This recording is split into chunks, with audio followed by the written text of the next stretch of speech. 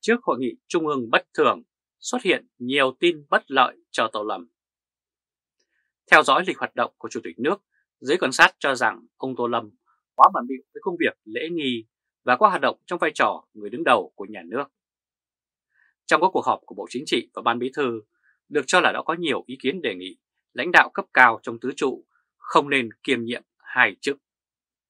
Phải chăng đây là lý do có nhiều luận đoán cho rằng sau hội nghị trung ương bất thường vào tháng 8 năm 2024, ông Tô Lâm sẽ chỉ được đảm trách chức vụ Tổng Bí thư. Chức Chủ tịch nước sẽ được chuyển giao cho Đại tướng Lương Cường, Thường trực Ban Bí thư. Nguồn tin nội bộ cũng cho biết thế lực Tô Lâm và phe cánh hiện nay đang rất mạnh. Tô Chủ tịch còn có mục tiêu nhất thể hóa hai chức vụ như mô hình của Trung Quốc mà ông Tập Cận Bình đang theo đuổi. Nếu thành công, ông Tô Lâm sẽ trở thành Tổng Bí Thư kiêm Chủ tịch nước giữ quyền lực tuyệt đối trong đảng, giống như ông Tập bên Bắc Kinh vậy. Theo nguồn tin nội bộ, quyết tâm của Tô Lâm cao tới mức ông sẽ bằng mọi giá phải chiếm bằng được chiếc ghế Tổng Bí Thư. Thậm chí nếu cần thiết, ông sẵn sàng đốt cháy cả dãy Trường Sơn để mà giành chiến thắng. Điều đó cho thấy Tô Lâm hết sức tự tin sẽ vượt qua ứng viên số 2 là Thủ tướng Phạm Minh Chính trong cuộc đua giành ghế Tổng Bí Thư tại Đại hội Đảng lần thứ 14 tới đây. Công luận cho rằng sau khi lo ma chay cho Tổng trọng, cuộc đấu giữa thủ lĩnh phe Thanh Hóa Phạm Minh Chính và thủ lĩnh Tô Lâm của phe Hưng Yên sẽ tiếp tục và có khả năng quyết liệt hơn. Hai phe sẽ xuất tất cả các nội công vốn có của mình để mà cố gắng giành chiến thắng. Theo giới quan sát, đội Hưng Yên của Tô Lâm sẽ tấn công tổng lực toàn diện để nhanh chóng giành chiến thắng. Nhưng đội Thanh Hóa của Phạm Minh Chính sẽ tiếp tục lối chơi truyền thống phòng ngự chặt, phản công nhanh. Trong khi đó quân đội của Đại tướng Phan Văn Giang thì tọa sơn quan hổ đấu được cho là sẵn sàng ứng phó và cổ vũ cho đội Thanh Hóa. Theo giới thạo tin, Bộ Chính trị đã lên kế hoạch tiến hành hội nghị trung ương bất thường để chính thức bầu người kế nhiệm chức Tổng Bí Thư, đồng thời xem xét sự thay đổi nhân sự cấp cao. Sau khi Thủ tướng Phạm Minh Chính kết thúc chuyến thăm Ấn Độ từ ngày 30 đến ngày 1 tháng 8, Bộ Chính trị sẽ có phiên họp dự kiến vào ngày 2 tháng 8 để giải quyết vấn đề nhân sự cấp cao này. Nguồn tin nội bộ cũng cho hay có thể hai Phó Thủ tướng Lê Minh Khái và Trần Đông Hà sẽ là phải nghỉ sớm và khả năng Bộ trưởng Bộ Xây dựng Nguyễn Thành Nghị sẽ lên thay. Các nguồn thạo tin khác cũng cho rằng Phó Thủ tướng Trần Đông Hà khả năng cao sẽ thoát, trong khi đó các nhân sự Phó Thủ tướng Lê Minh Khái và Bộ trưởng Bộ Tài nguyên và Môi trường Đặng Quốc Khánh, Bí thư Quảng Ninh Nguyễn Xuân Ký và có thể là Bí thư Hà Nam Lê Thị Thủy cũng có tên trong danh sách của Bộ Chính trị trình hội nghị trung trương để biểu quyết miễn nhiệm. Sau khi Tổng trọng qua đời, thông tin rộ lên là sẽ có những thanh củi mới bị quăng vào lò, bao gồm những cái tên như Trần Cẩm Tú, Phan Đình Trạc, Lê Minh Khái, Trần Ông Hà cùng với Bí thư Hà Nam, Lê Thị Thủy. Như vậy, chương trình tảo thanh của phe nghệ tĩnh của Tô Chủ tịch có thể đã chững lại. Nếu đúng thế thì đây là tin xấu cho ông Tô Lâm và Bộ Công an, đồng thời cũng là dấu hiệu cho thấy sự hồi sinh sức mạnh của phe nghệ tĩnh sau khi thủ lưỡng Vương Đình Huệ bị Tô Lâm cho đo ván vào tháng 4 năm 2024. Việc tổ chức hội nghị Ban chấp hành Trung ương bất thường để bầu tân Tổng Bí thư dự kiến sẽ diễn ra trong tháng 8, thay vì đến hội nghị Trung ương thường niên vào tháng 10. Đây là sự bất lợi cho Tô Lâm và phe cánh trong bối cảnh đang được cho là phe tướng quân đội đã liên kết chặt chẽ với phe nghệ tĩnh và phải chăng người tính không bằng trời tính. Quý vị và các bạn vừa theo dõi chương trình truyền hình tiếp của Thời báo chấm với bản tin Trước hội nghị trung ương bất thường xuất hiện nhiều tin đồn bất lợi cho Tô Lâm. Quý vị và các bạn hãy chia sẻ video này cho nhiều người biết và bấm nút theo dõi YouTube và Facebook của Thời báo chấm để luôn được cập nhật những bản tin mới nhất, nhanh nhất và trung thực nhất. Từ Berlin, Cộng hòa Liên bang Đức chào các bạn và hẹn gặp lại các bạn ở bản tin lần tới. Trung Khoa Thời báo chấm đề Tham vọng quyền lực của Tô Đại và nghi án rút ống thở đẩy Tổng Trọng ra đi sớm. Việc Chủ tịch nước Tô Lâm sẽ kiêm nhiệm chức vụ Tổng Bí Thư là điều gần như chắc chắn đến 99%.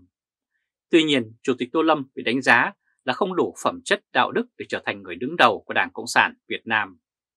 Bởi điều đó sẽ dẫn đến sự lạm quyền.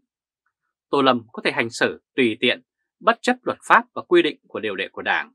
Có ý kiến cho rằng không nên để ông Tô Lâm nắm tới 2 trên tổng số 4 vị trí của tứ trụ hiện nay.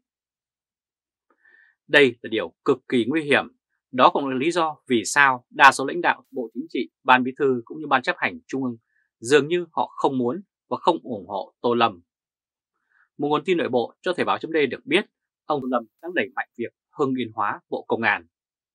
Mới nhất, Bộ trưởng Lương Tam Quang dưới sự chỉ đạo của ông Tô Lâm đã bàn giao và bổ nhiệm chức danh Thủ trưởng Cơ quan An ninh điều tra cho Trung tướng Phạm Thế Tùng là một đồng hương hưng yên. Cùng lúc Đảng ủy Công an Trung ương ra nghị về công tác cán bộ, theo đó Thượng tá Tô Long, con trai Tô Lâm, được bổ nhiệm giữ chức Giám đốc Công an tỉnh Hải Dương.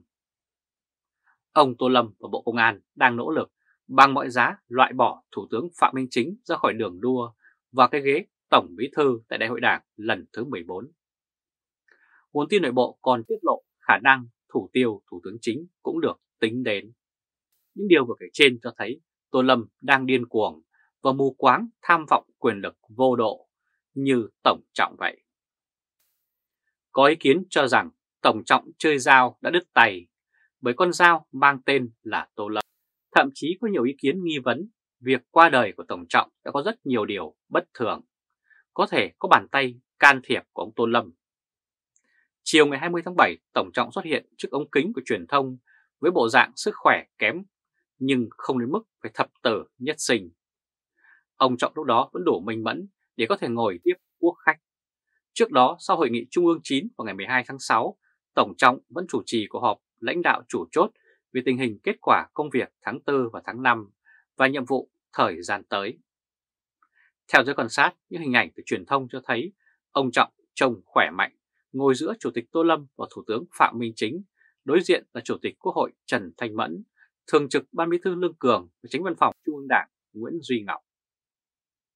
Vào ngày 4 tháng 7, tại hội nghị Đảng ủy Công an Trung ương, dù không tham dự nhưng Tổng Trọng vẫn gửi thư đến hội nghị và yêu cầu Bộ Công an khắc phục triệt để tình trạng lọt lộ bí mật nhà nước. Không hiểu tại sao, trong một thời gian rất ngắn, ông Trọng đã hôn mê qua đời vào sáng ngày 18 tháng 7. Truyền thông nhà nước lại cho biết ông qua đời vào ngày 19 tháng 7. Rõ ràng, việc Bộ Chính trị ra thông báo về việc ông Tô Lâm được chỉ định làm người tạm quyền thay thế Tổng Trọng là một điều cực kỳ vô lý khi Tổng Trọng vẫn chưa chính thức tắt thở. Phải chăng ông Tô Lâm và phe cánh đã quá nóng vội nên tự ý thông báo nhân sự thay thế? Có ý kiến phỏng đoán trước các diễn biến bất lợi cho Tổng Trọng trong bơi bối Chiputra tại Hà Nội, Tô Lâm biết rằng sớm muộn Tổng Trọng cũng qua đời. Đây cũng là cách mà Tô Chủ tịch ngăn chặn từ xa việc Tổng Trọng phục hồi sức khỏe lại ngồi tiếp ghế Tổng Bí Thư tại Đại hội Đảng lần thứ 14 đây cũng là chiêu nhất tiễn hạ song điều. Tô Lâm và phe cánh đạt được nhiều mục đích. Nếu thực sự có sự việc một lãnh đạo cấp cao dám rút ống thở để tiễn đưa vua cũng như nghi vấn vừa nêu trên, thì đây là lời cảnh báo gửi đến ban lãnh đạo Việt Nam cũng như công luận. Nó cho thấy Tô Lâm sẽ trở thành một lãnh đạo độc tài, cực kỳ nguy hiểm với tương lai của chính trị Việt Nam và nhân dân đang ở đây. Quý vị và các bạn phải theo dõi chương trình truyền hình tiếp của Thời báo chấm với bản tin Tham vọng quyền lực của Tô Lâm và nghi án rút ống thở để Tổng Trọng ra đi sớm. Quý vị và các bạn hãy chia sẻ video này cho nhiều người biết và bấm nút theo dõi YouTube và Facebook của Thời báo chấm để luôn được cập nhật những bản tin mới nhất, nhanh nhất và trung thực nhất. Từ Berlin, Cộng hòa Liên bang Đức, chào các bạn và hẹn gặp lại các bạn ở bản tin lần tới. Hôm qua, Thời báo chấm